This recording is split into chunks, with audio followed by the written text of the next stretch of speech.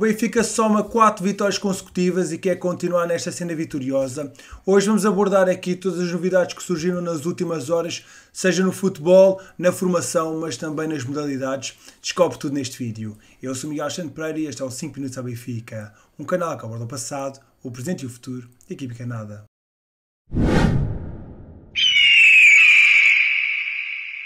O plantel do Benfica treinou ontem de forma a fazer o habitual trabalho de recuperação no dia seguinte aos jogos, tendo hoje uma folga, uma ocasião para os jogadores anuviarem um pouco e estarem preparados para a deslocação de quinta-feira frente ao Sporting Braga, em jogo a contar para os quartos final da Taça de Portugal. Um encontro que já deve contar com um regresso muito importante. Gonçalo Ramos está praticamente recuperado de uma lesão muscular na coxa esquerda. O internacional português falhou os dois últimos jogos da equipa, frente ao Passos Ferreira e com o Casa Pia, mas tudo indica que já estará em condições para jogar frente ao Sporting Braga. Se assim for, e depois dos regressos de Rafa Silva e Julian Draxler, que inclusivamente já participaram no jogo frente ao Casa Pia, Roger Schmidt terá então todos os jogadores em condições de serem chamados para reencontrar o único adversário que até agora conseguiu vencer o Benfica nesta temporada, 0-3 na jornada 14 do Campeonato Português. É preciso vingar esse resultado bastante negativo e continuar na Taça de Portugal. Vai ser uma partida muito difícil e é preciso ter todos os jogadores disponíveis e na máxima força. O foco nas próximas semanas passa por avançar em algumas renovações. A de Vlaco Dimos deve ser anunciada muito em breve.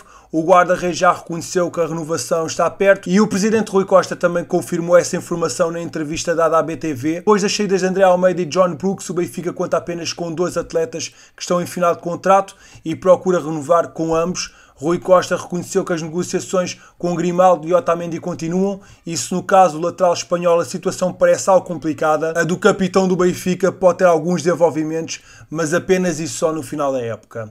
O central argentino só vai decidir o seu futuro no final da temporada. O desejo parece passar por continuar na Europa, mesmo apesar dos vários convites do River Plate em fazê-lo regressar à Argentina no próximo verão. Paralelamente às negociações que estão a ser feitas na equipa principal, a estrutura benfiquista também procura renovar com mais alguns jovens jogadores da formação, tal como já aconteceu com o jovem guarda-redes André Gomes.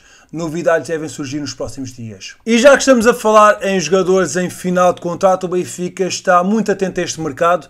Já se falou dos internacionais portugueses Nelson Semedo e Rafael Guerreiro, mas principalmente do japonês Daichi Kamada, sendo que nos últimos dias surgiram mais dois rumores. Mariano Dias que já foi apontado ao Benfica no passado e está no último ano de contrato com o Real Madrid, foi apontado novamente como alvo do Benfica pela imprensa espanhola.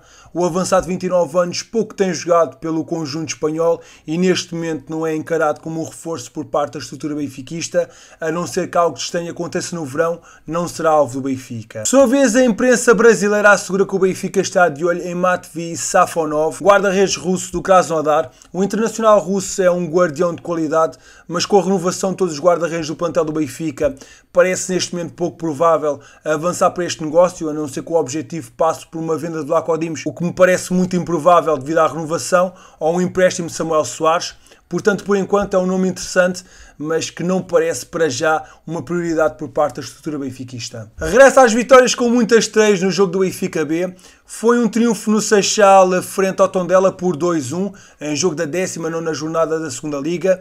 Os gols apenas chegaram na segunda parte e já na parte final do jogo. Henrique Araújo fez um 0 aos 69 minutos. Já Gilson Benchimol, jogador emprestado pelo Estoril, ampliou a vantagem do conjunto da casa pouco depois.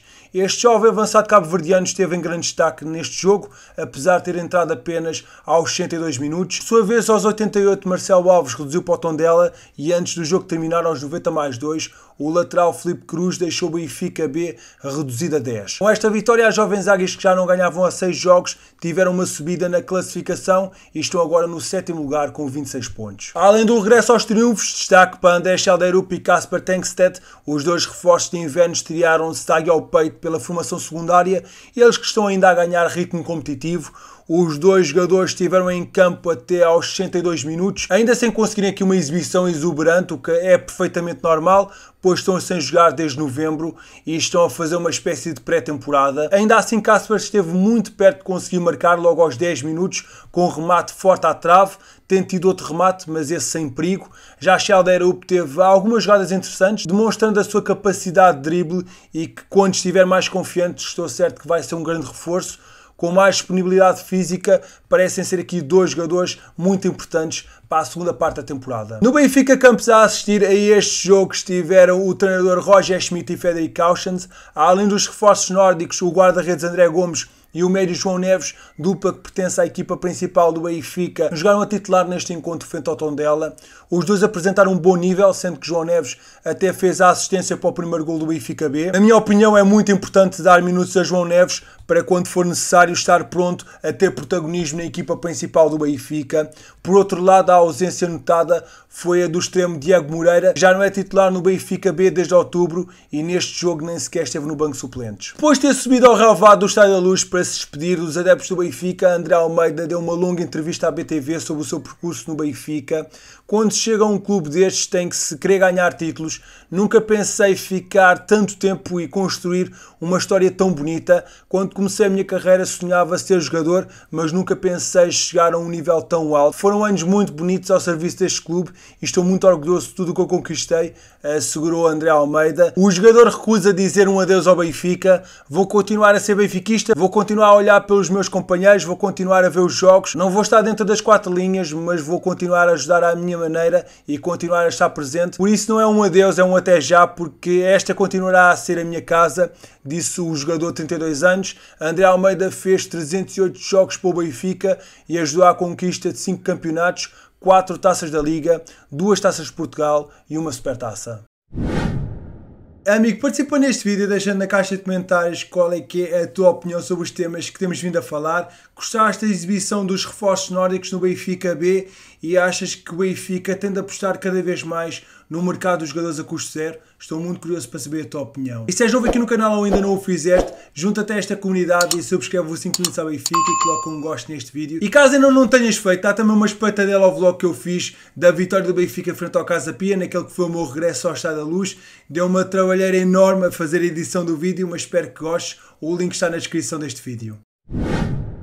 Nova goleada no futebol feminino. O Benfica derrotou a Albergaria com uma vitória gorda por 9-0. Em Almada, no estádio municipal José Martins Vieira, o Benfica já venceu o intervalo por 5-0. Jéssica Silva aos 15 e 27 minutos, Marta Cinto aos 32, Ana Vitória aos 35 e Chloe Lacasse aos 45 mais um de grande qualidade, marcaram os gols no primeiro tempo. Na segunda parte, as encarnadas mostraram mais uma vez cenas superiores ao conjunto Aveiro, Naicola aos 47, Beatriz Nogueira aos 78 e 81 e Kika Nazaré aos 88 marcaram os restantes gols desta partida e com este triunfo o Benfica reforçou a liderança da Liga só com vitórias, soma 39 pontos e aproveitou da melhor maneira o empate do Sporting Braga, que está no segundo lugar do campeonato. Vitória na prova rainha. A equipa de futsal das Águias apurou-se para os oitavos final da Taça de Portugal ao vencer em casa do Torriense por 1-2. Em Torres Vedras, a resistência da equipa do segundo escalão foi quebrada aos 12 minutos por intermédio de Jacaré, antes de Gonçalo Sobral ampliar a vantagem dois minutos depois, resultado com que chegou ao intervalo. Já no segundo tempo, o jogo decorreu numa toada mais lenta, com o Benfica a não forçar muito o ritmo e o Torriense a nunca desistir de marcar pelo menos um gol, o que veio a acontecer por Giovanni a 5 segundos do final. Dupla vitória no voleibol. No sábado o Benfica manteve a senda das vitórias no Campeonato Nacional, mas teve de dar tudo para conseguir bater o Leixões. Em Matosinhos as águias venceram por 2-3, com os parciais 18-25, 25-17, 16-25, 25-20 e 10-15 no arranque da segunda volta da Série A da segunda fase do campeonato. Já no domingo as águias consolidaram a liderança do Campeonato Nacional com 32 pontos após baterem o Vitória em jogo da nona jornada. Na luz, as águias venceram os melhores por 3-0, os parciais 25-21, 25-22 e 25-23. Triunfo muito importante no Hockey Patins, o Benfica venceu o Hockey Clube Braga por 5-1 na 16ª jornada do Campeonato Nacional. No Pavilhão da Luz as águias chegaram ao intervalo a vencer por 1-0, com um gol marcado por Roberto Di Benedetto aos 11 minutos. Na segunda parte o Benfica aumentou a vantagem com alguma naturalidade através dos golos de Neil Roque aos 32, de Diogo Rafael aos 35, de Carlos Nicoli aos 39 e de Pablo Alvarez aos 50. A 42 segundos do final, Vitor Pinto fez o gol de honra dos bracarenses e desta forma o Benfica continua a liderar a tabela com 42 pontos, mais 4 com o Sporting e Porto, que ocupam o segundo lugar do campeonato. Amigo, muito obrigado por teres ficado até ao fim do vídeo. Não te esqueças de deixar um gosto e subscrever o canal caso ainda não tenhas feito. E deixa na caixa de comentários a hashtag novidades do Benfica. Eu sou Miguel Alexandre Pereira e estes foram os 5 minutos à Benfica. Saudações benfiquistas.